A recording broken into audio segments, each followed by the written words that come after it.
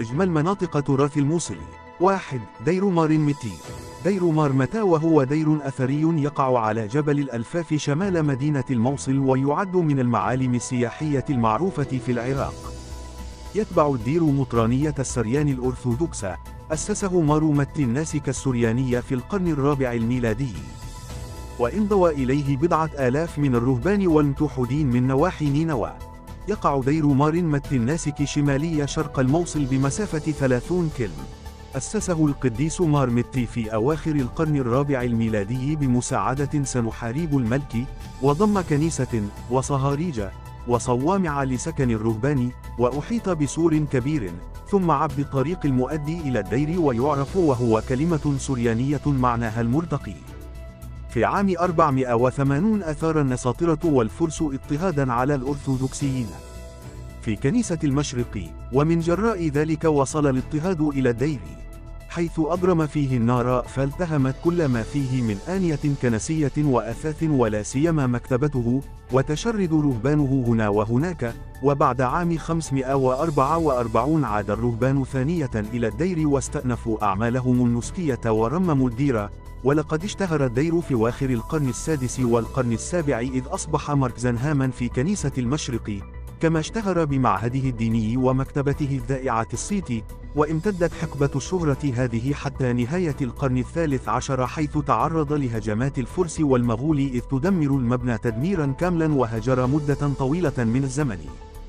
كما ويعتبر هذا الدير من الأماكن المقدسة لدى المسيحيين ويعتبر شفيع للكنيسة في العراق. اثنان دير الرباني هرمزد دير أثري يقع بالقرب من بلدة القوش شمال العراق على مسافة تبعد حوالي ثلاثة كيل شمال شرق البلدة فوق جبل القوش ويعود تاريخ بنائه إلى سنة 640 متر.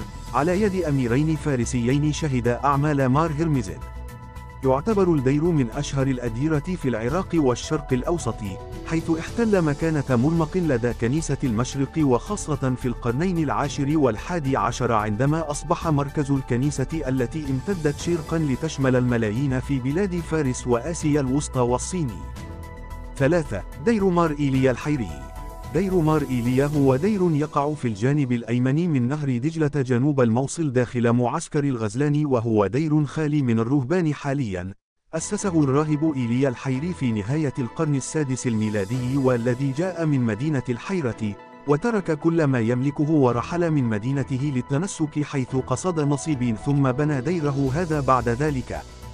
وفيه عدد كبير من الزخارف والنقوش وفي عام 1743 ميلادي قام قائد فارسي بتدميره فوقع فيه الخراب والدمار وبقي مهملا ولحد الآن.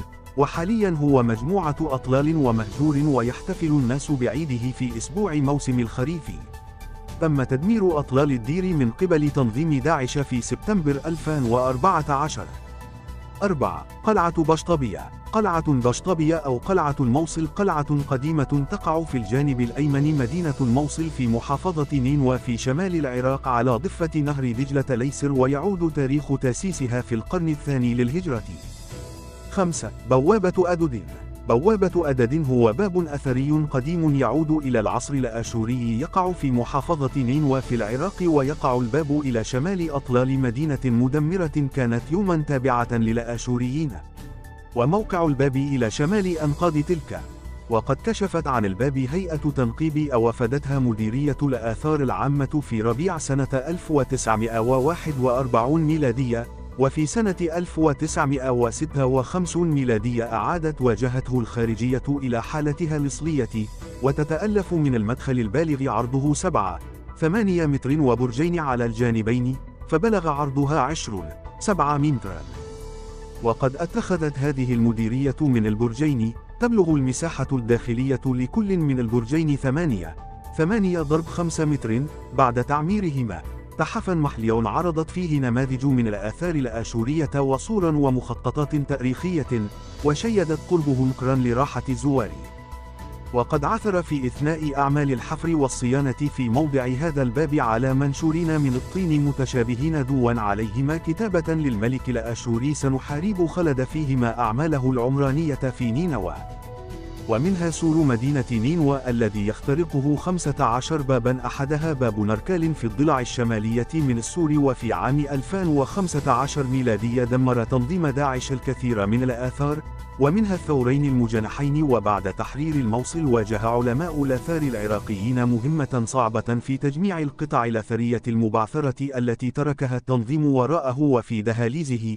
حيث اكتشف هؤلاء العلماء والقوات العراقية المرافقة لهم وبالصدفة في أحد تلك الإنفاق وبعمق 40 مترا تحت الأرض ثور مجنح جديد في تلة النبي يونس محتمل أن يكون في مدخل بوابة معبد غير معروف يعود للفترة الآشورية 6. متحف الموصل متحف الموصل هو أحد أهم المتاحف في العراق ويعد في المرتبة الثانية من حيث الأهمية بعد المتحف العراقي في بغداد تأسس غالبا في العام 1952 وكان مقصورا على قاعة صغيرة إلا أنه تم إنشاء المبنى الجديد لمتحف الموصل والموجود في يومنا في العام 1972 حيث ضمت بنايته الجديدة أربع قاعات أحدها للآثار القديمة وأخرى للآثار الآشورية وثالث ثالثة للآثار الحضرية والأخيرة للآثار الإسلامية.